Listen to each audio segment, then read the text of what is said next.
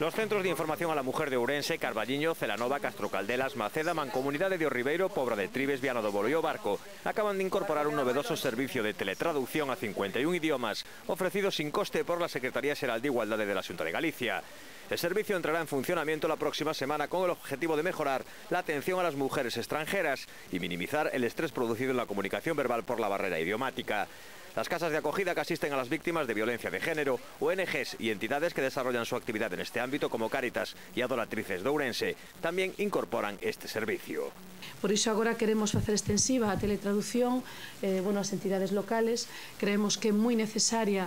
a colaboración entre a administración autonómica e a administración local é fundamental e ademais porque a administración local é a porta de entrada dos servicios sociales e dos problemas dos veciños e das veciñas, neste caso das, das veciñas, e como non, os centros de información a muller.